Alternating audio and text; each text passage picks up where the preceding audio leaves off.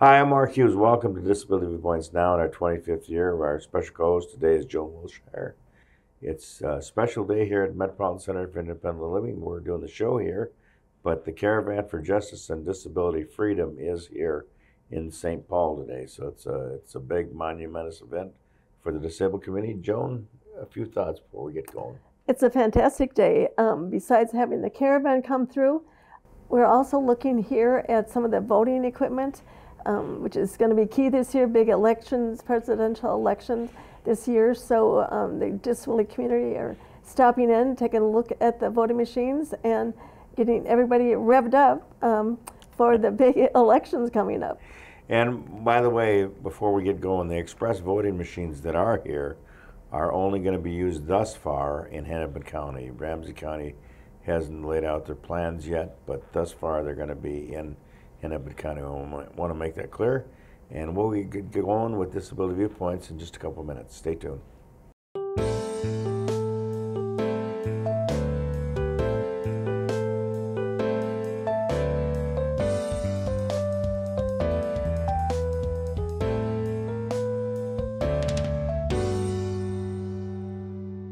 Well, welcome back to Disability Viewpoints. I'm Joan Willshire, one of the co-hosts for the show.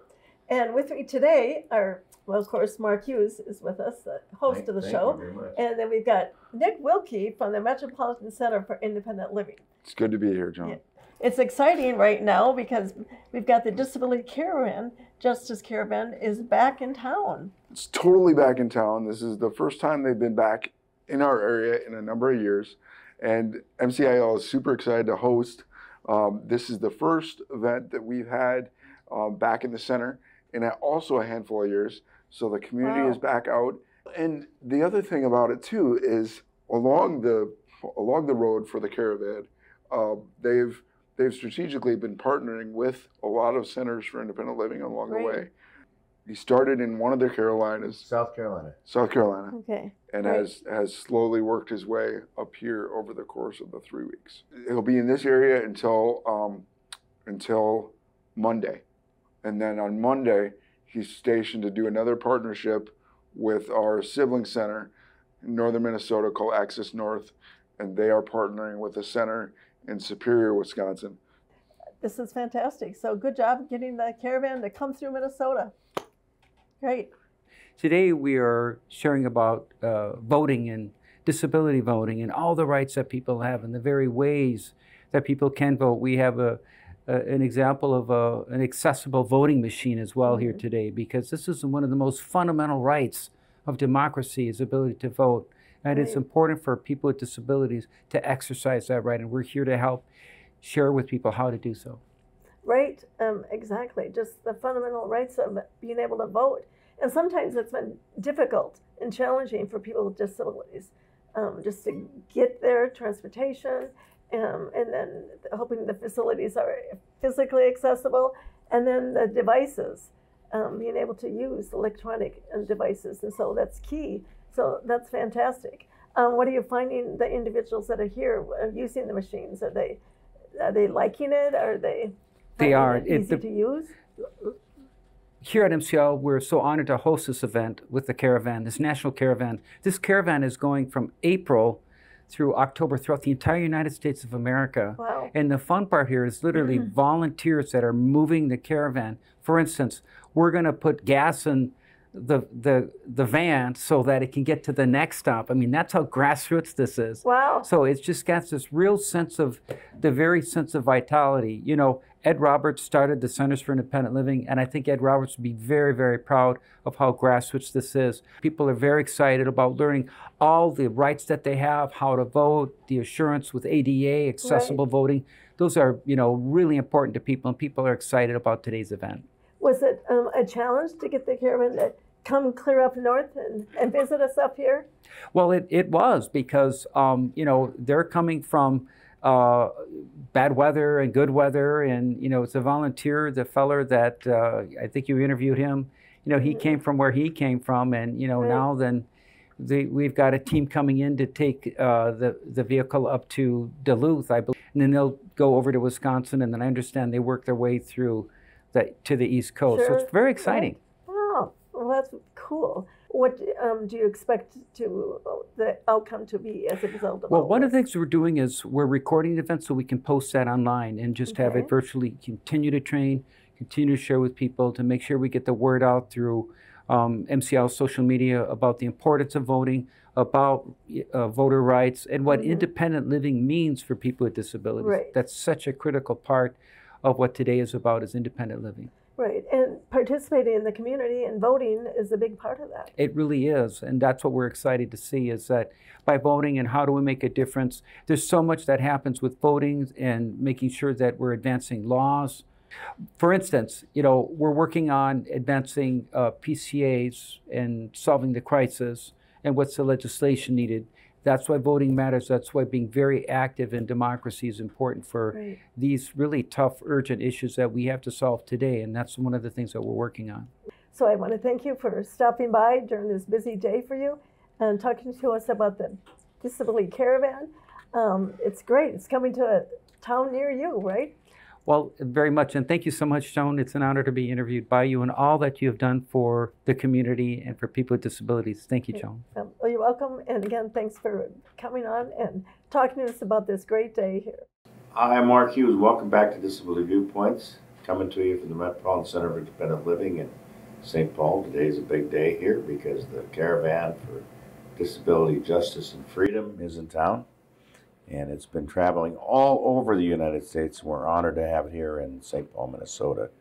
My first guest today is uh, Gene Martinez. Gene, welcome to the show.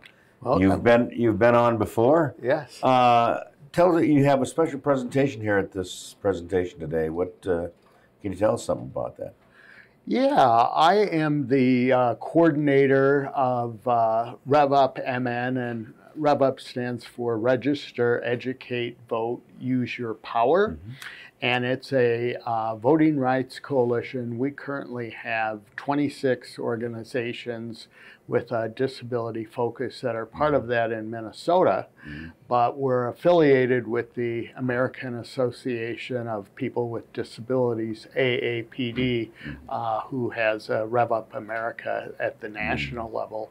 So anyway, our uh, my PowerPoint today is uh, covering all the uh, mechanics and accessibility supports for uh, people with disabilities to vote and uh, just covering all of the um, you know relevant laws and procedures uh, and things that people need to keep in mind so that they have a good uh, voting experience. Dotting the I and crossing the T. Yeah. What then has been the biggest success in your role in this position?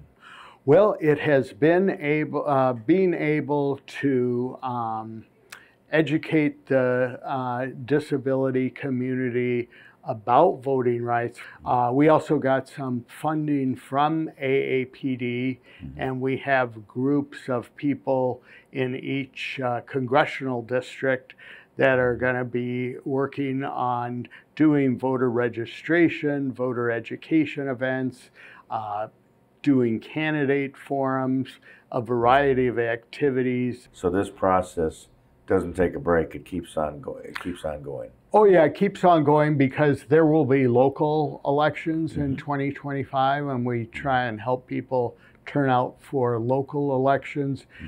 There will be probably a report from Rutgers University, maybe at the end of 2025, that kind of analyzes how many people with disabilities turned out to vote. And they do this nationally and they do it by each state.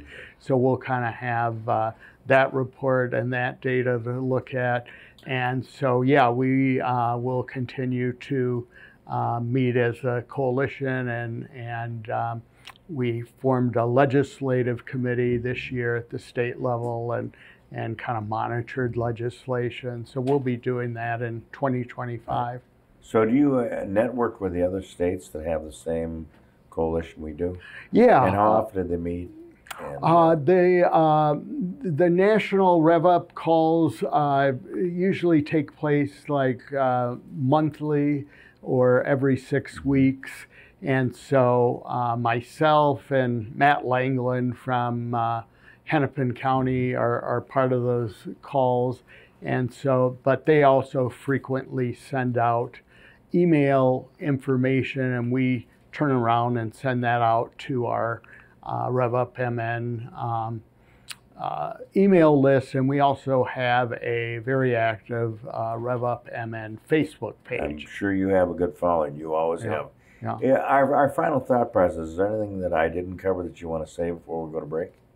Well, just that, you know, uh, some people with disabilities and other people ask why vote.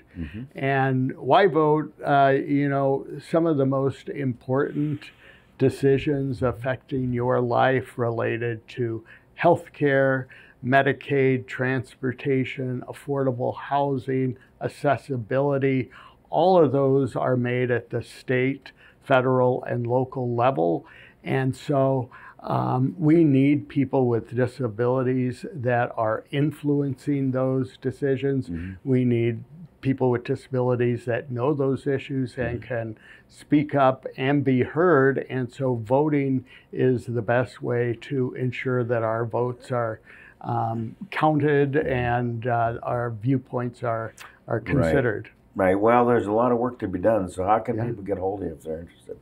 Yeah, At the office, that is. Yeah, they, they, they can either uh, in the Facebook search engine just type in RevUpMN, or they can email me at Gene Martinez at arcminnesota.org. Sounds great. We're going to take a break, but we'll be right back with more disability viewpoints right after this.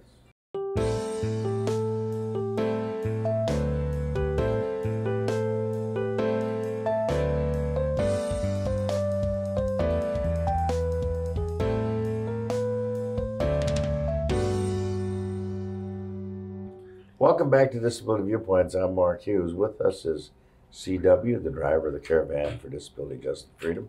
CW, it's an honor to have you here. Hey, thank you and for having me. you've been me. on the road a while. Do you want us to tell about tell about your great experience and honor? Sure. Uh, it's a pleasure to be here. Uh, I've been on the road for the last three weeks. I started in uh, South Carolina in uh, Anderson. So had some events there in the Greenville, South Carolina area. Headed up to Raleigh, Durham area where we also had some great events. Um, I think I shared with you earlier that I drove with the ADA 25 tour, and so kind of used to the Were you a uh, part of That that? was in 2015, but yes, Were you a part of that? yeah. So I drove with Tom Olin. Okay, that Uh, big bus. Yes, the big bus with the big trailer. Yeah. Mm. Uh, and uh, the whole thing started in San Diego, and and you took over in South Carolina, correct. and today you're passing the torch on to another driver, so they can go to Duluth Superior from here. Yes. Wow. Wow. Well, how did you get involved with all of this? Uh, so I've been involved in disability advocacy, starting out in kind of mental health about Mhm. 25 years ago, and um, around the time of the ADA 25 Sure. tour, um, a friend of mine who's actually here today, um, that was in the DC area, uh, she was involved um, and had told me about it, and I reached out to Mark Johnson and them, and Right. Joined now, on. now you've worked in D.C. yes. What type of work did were you into there? Uh, so I did several things while I was there. So for seven years, I worked for NAMI National on their um, website and with kind of legislative advocacy. Mhm. Um, and then after that, I ended up working with Deaf and Hard of Hearing, Yeah. uh, doing job mentoring and job supports. What's the biggest advancement you've seen in all the years in the dis- disability world? So I think the biggest advancement is just awareness. And so, Mhm. especially being an individual with a mental health disability, I think that um, the stigma has really been reduced um, over the years, and there's a lot more people that are talking openly about it where we weren't talking about it very openly before. And I think the stigma and discrimination is definitely lowered um, in that community. What uh, What do you think we have the most work on to do overall in the disabled community right now? Again, I think it's awareness. I think that Sure. there's a lot of people that still don't understand kind of the access needs Mhm. for everybody. And I mean, simple things. Um, I see motorcycles all the time Sure. parked in the hashes for, um, you know, Right. disability spots, and then you know you can't get your wheelchair out and things like that, and so Mm-mm. some of that broader awareness. Thanks for being with us, CW. You're part of the history in this United States doing this, and it's an honor to know you. Thanks for being on our show. We'll be back with more disability viewpoints in a couple minutes. Stay tuned, please.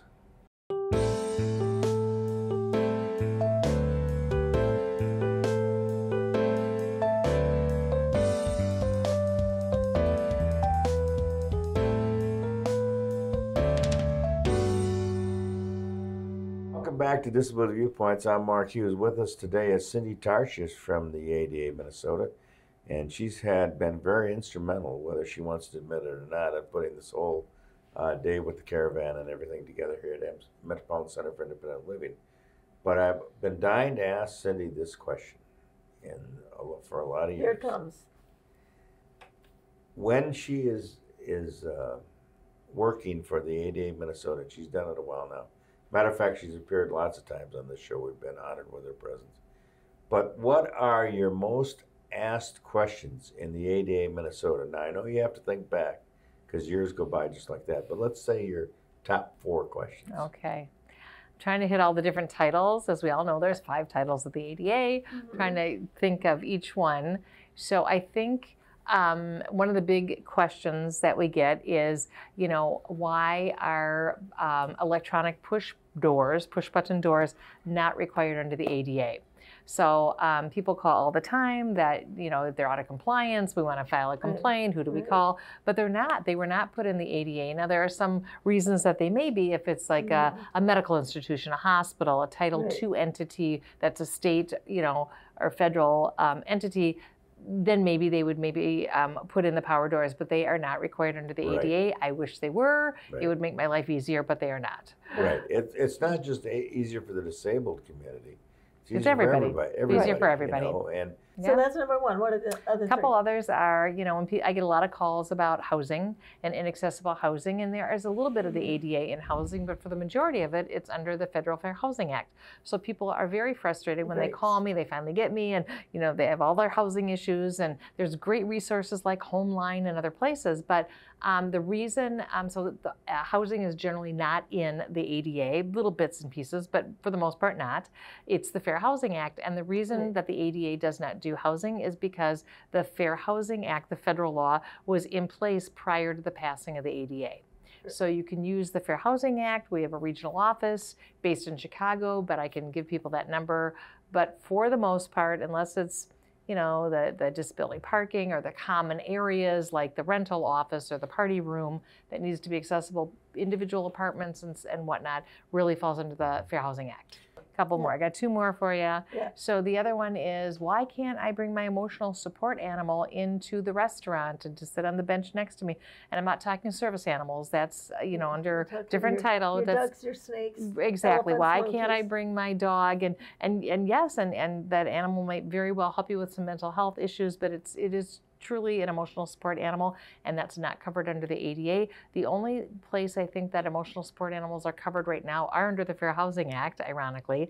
Um, let's say you're a student and you know you're in a dorm and you need your emotional support animal then perhaps i could squeak under because that's that's housing under the Fair housing act but for the most part emotional support animals are covered under housing and it used to be under the air carriers act but that is no longer so if it's a trained uh, you know, per- a service animal uh, trained to perform a specific duty or task, yes, certainly bring that trained animal into Target or a restaurant or a hotel, but emotional support animals are just not uh, under the ADA and wouldn't be allowed.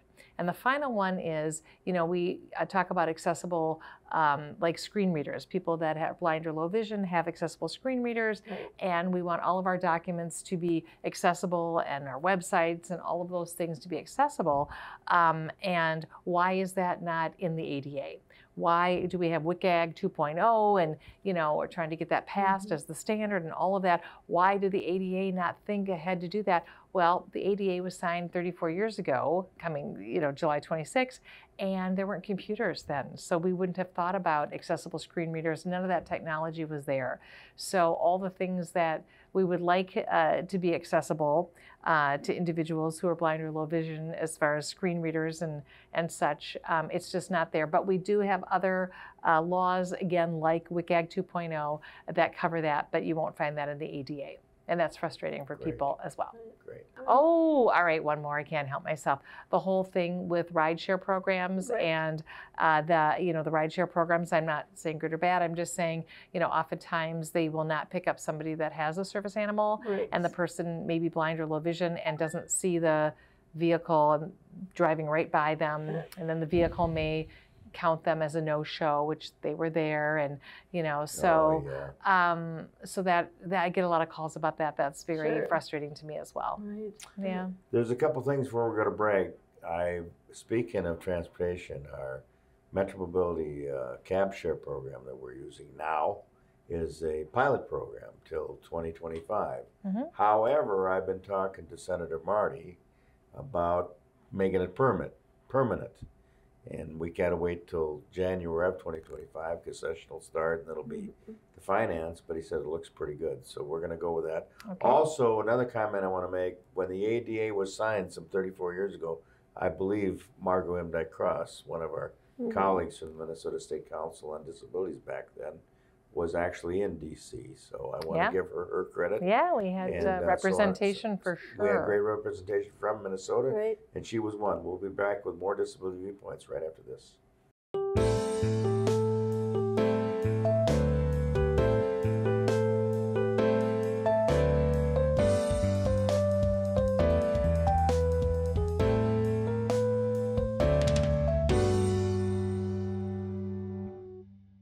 Welcome back to Disability Viewpoints. I'm Mark Hughes. With me is uh, one of our co-anchors, Nikki Villavicencio, at this monumentous event today.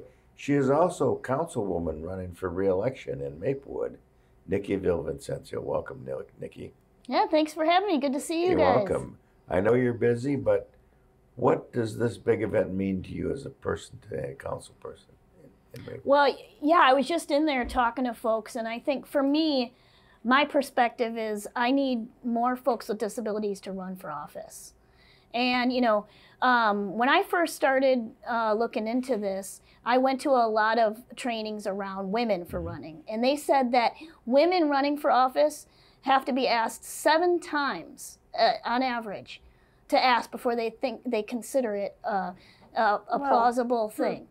And so imagine a person with a disability and the psychological obstacles that they have to endure even considering to run for office. And then doing the work of it and trying to maneuver the barriers around that. Why, why do you think people are scared to do it or don't want to do it? Um, well, there's a lot of um, myths around running for office. Um, you know, when I uh, first started in politics, I did what was co- what we coined as accessible door knocking. So a lot of what people do to get elected is they have conversations with folks and say, "Hey, do you want to do you want to vote? And if you do, I'd like you to support me because of this, this, and this." Right. And a lot of people with disabilities think, well, I don't know how I'm going to do that. How am I going to get around the community? How am I going to get to everybody? And um, I can tell you from uh, my own perspective that it's not as hard as a lot of people think. Mhm. It takes um, planning ahead of time. But um, and, all, and also it takes people to support you in doing it. But um, I think when you uh, also think about all the people that don't get to vote. So what I did is I centered it around apartment buildings first. So I went into the senior buildings and the apartment buildings and the folks that I know that politicians don't come and talk to them. And they also have elevators. Yeah, Exactly. And they only work sometimes. Yeah. Well, and the cool thing about it was when I started this, a lot of people were like, "Oh yeah, that's nice that you're doing that. That's real nice." But then when I they saw the result of it, they saw that it expands the vote. Right. So whether or not they're voting for me or, or not, they're voting more. And I think that is a, a really important aspect. Renters usually are considered not dependable voters, but I think we need to Right. rethink a lot of those things. Well, I think that people got to realize that we're part of the market, and we have Uh, Mhm. All we got to do is check the box. But this has also led you on to other uh, opportunities like advocating change together, and you're kind of running that place now, or an assistant, and kind of you're kind of picking up in our disabled community, if I must say, like Rick Cardenas is doing, and in in the representation thereof, and I'm proud of you for that. Well, thank you. I sit on his shoulders and, and your guys' shoulders as well because, you know, Rick ran for office and didn't make it. Right. And then he became my campaign manager and helped me get there. So, you know, I couldn't have done it without the people that came before me. Great, great. right. So, what do you feel is your biggest accomplishment? My biggest accomplishment. I don't think, I hope I haven't made it yet. yeah. and what it's got a what long ways what what uh, what drawback or what would you recommend to people who want to do what you're doing? um, find people who who have done it before and have them Mhm. help you and and come up with a plan you know the first thing i tell people because you know i've had quite a few disabled folks come up to me and say yeah i want to run that sounds like fun and i say okay have you worked for another candidate before Sign on Yeah, the right. so Right. the the first thing i say is go work for another candidate for an entire election season and then if you still like it then come back to me and we'll talk And you're on the state Right. council on disabilities too, right? yes yes right. What, Yeah. How is that going over there? What's your biggest accomplishment there? Oh well, I mean, I I helped out a lot with um, some of the legacy. You know, it's been 50 years Mhm. since Long the time. Council on Disability has been Mhm. around, and I think a lot of people in Minnesota don't know that Right. that we've been affecting policy for that many years, and I'm I'm really um, proud of the once again all the people that came before us that did all that work Great. and have, are continuing to do the work. And I think, you know, more and more legislators are understanding that we are stakeholders at the table that need to be listened to. Right. Rather than just being on the table, we're At, the, table. Yes. Right. Big Is that time. right? Definitely. Right. All right. Uh, a final thought before we go, because you're our councilperson representing Maplewood. Uh, I just think everybody should go out and vote and um, get your friends to vote. Sounds great. Mm-hmm. Thanks for being with us, Nikki, and all my best to your family too. Thank you. We'll be back with more disability viewpoints in just a moment.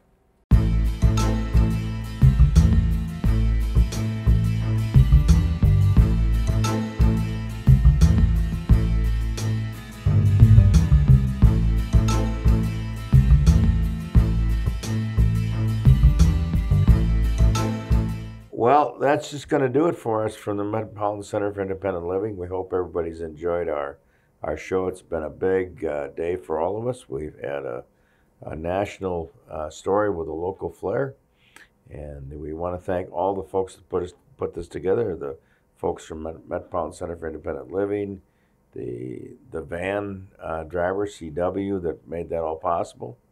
It was great having them here, and the, the van continues now going to Duluth and Superior and on through other parts of the country. So, Joan, I'll let you take it from here. It's um, a fantastic day, that's for sure. Being able to have the Disability um, Freedom Justice Caravan coming through, um, it was really gives you an idea of the scope of what's trying to be done here and accomplished um, nationally, and just getting the word out about disability rights and justice. Um, and then, of course, the the voting machines and elections, um, since this year is more pivotal than ever, that the disability community get out and actually vote. So um, just a super fantastic day for everybody. Well, what's great about the Caravan for Disability Justice and Freedom is that every market will be able to have their own Mhm. uh, say on what they want to do and how they want to celebrate this big event. So, thanks everybody for watching. For Joan Willshire and our entire team, this is Mark Hughes. Thanks for watching Disability Viewpoints. We'll see you real soon. Take care. Bye now.